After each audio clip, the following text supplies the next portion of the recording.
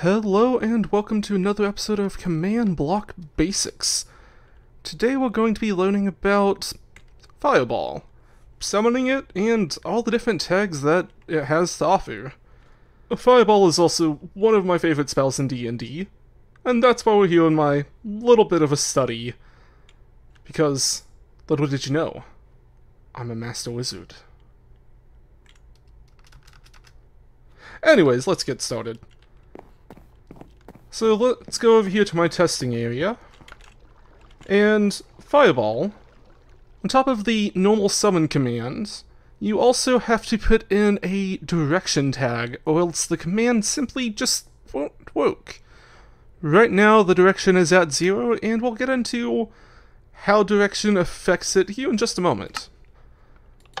But we hit that, and it will disappear for a moment when it's first summoned, when it has zero movement, I don't know why it does this, or how to stop that other than to uh, have it have movement.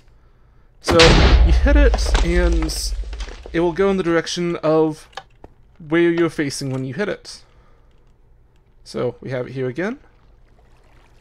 And we can hit it in whatever direction we want. Going over here into our little testing area, we can have a Fireball out here, and whenever a player hits a fireball, it will cause it to do as much damage and destroy as many blocks as if a ghast fired it. This is a part of the coding due to players redirecting fireballs uh, back into ghast, Which, by the way, if you did not know, if you fire fireball back to a ghast, it does possibly 500 times as much damage as it normally can, but also explosion damage numbers are very, very weird, and I don't like math. I'm only good at the logic of these commands. Anyways, over here we have the bit where we learn about direction. So, this right here, it is going in direction X 0.2. And how this actually works is, this means that it's going to go two blocks in that direction. If uh, we put it right here, then it's going to be 22 blocks in that direction. So, if it comes into contact with something before it stops, it will explode.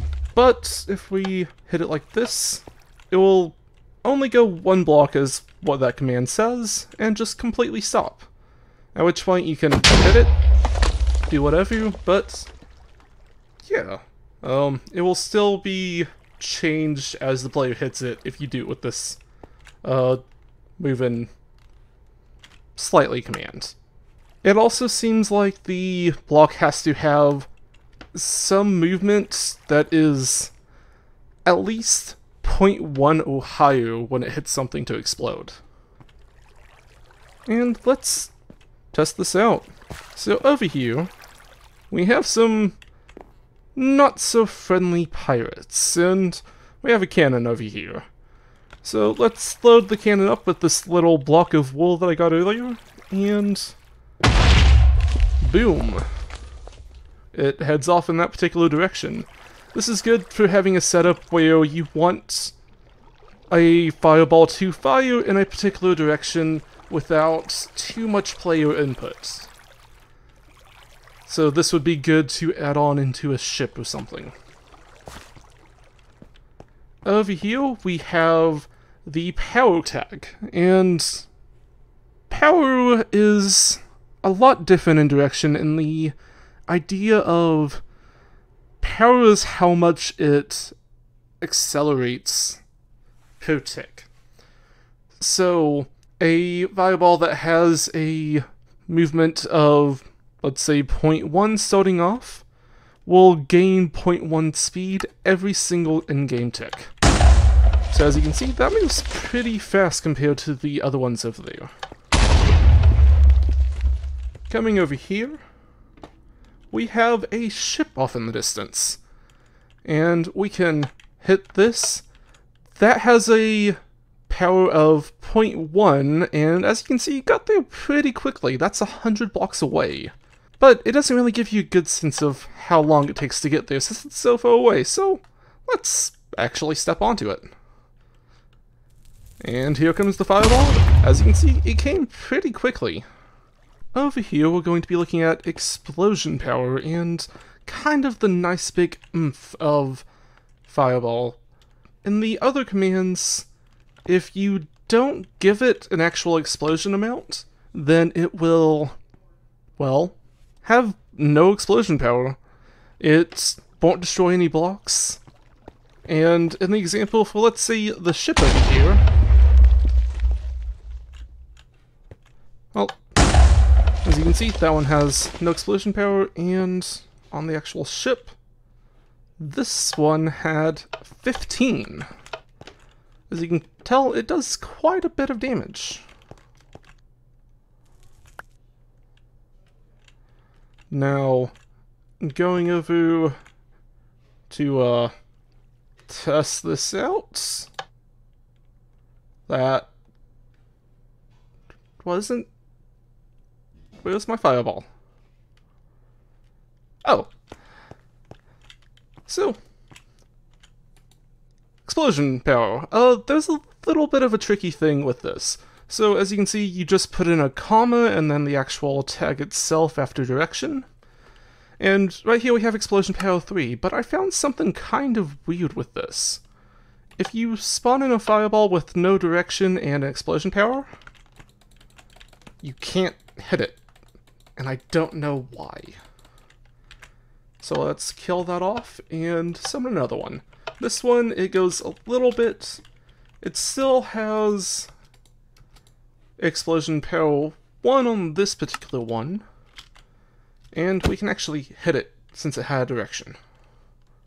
And explosion power 1 doesn't do too much, but let's take a look over here. We're going to look at how much things explode with explosion power 1 up to explosion power 5. The red bit right here is the center, and the orange bit is where it typically will explode. So as you can see, it's a 3x3 spot down there. Coming over here to explosion power 2,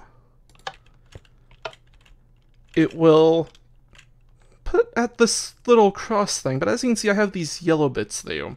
The yellow parts are blocks that have a chance of exploding, but it isn't guaranteed. Coming over here a little bit further, we have Explosion Power 3. As you can see, it has a little bit more of an impact. Up here, you can see that's the center. The orange bits will always explode, and the yellow, slight chance green is a pretty less often chance to explode, but sometimes still will. Explosion Power 4.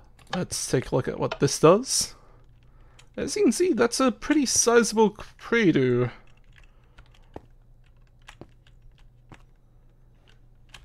With its explosion looking just like this. And over here on the last one, that is going to look a bit like that. As you can see, there's quite a big difference just going up by one each time. Typically, it's a one block radius difference, but, um... It seems like there's a little bit of variation in how it can grow. As you can see, the yellow area grew through the increase between that one, while back here, it's the orange area, and back here there's only just a little bit of yellow. You can test for it yourself and see the differences in explosion power higher than 5. But for now, I think that's all the basics that you should know about summoning fireballs. Let's hop back down here. And back into my study. I hope you enjoyed this episode of Command Block Basics, and if you did, then feel free to subscribe and see more content like this. I upload videos kind of regularly. A little bit. But yeah, until next time. Mm, bye. So, I tried to do something that I used to do back in the day, back before uh, repeat commands ended up being thing, and uh, this is what you call a uh, kind of a command block instant clock. So uh, it would always end up respawning the command block there. This command would set it, this command would fill it with air, and they would just kind of keep going back and forth and never end. But, um, you would use it to basically repeat how you would have the uh, repeat command, and I was curious how it worked out today. And, uh, they made it where it doesn't have a weird visual anymore. And whenever you break it, it actually has a bit of a window where you see that it's not there. Which it used to not do. And over here we have a command that I absolutely loved back in the day, which is uh, executing as a snowball to summon a fireball at its spot. Now, doing this particular command would cause the fireball to just keep teleporting to the snowball. Even though you would be technically summoning a new one, it didn't actually count it as that. And I was figuring out how it would work out nowadays, and yeah, it does this now. um, which, like, is as expected, and it actually travels in the snowball snowball arc now, which you would also expect, but, uh, it's... Yeah, if you ever want to have, like, a line of fireballs for some reason,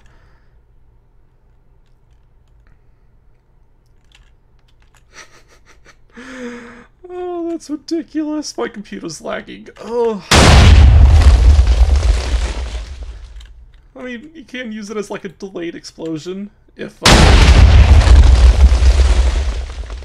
Oh, nope, not really. Okay, it lost its. Oh. I have no clue what it thinks it's doing at that point. But also, I'm kind of curious what it would look like if you, uh, did it as repeat now and always active. Oh, same thing. Okay. Yeah, that's just a little thing about what happened in the past with, uh, some fun commands. I mean, I kind of miss that this used to be a thing, but you can do so much more with command blocks now, and you can probably find a way to replicate it. It's just, it's something I kind of miss. But yeah, that's it for the end of the video. Um, I really hope that you found some ways to figure out how to use this for yourself. I had a few examples throughout the video, but this is really more of a uh, way to help you learn how to use it. At any rate, I hope you all had a good one, and bye.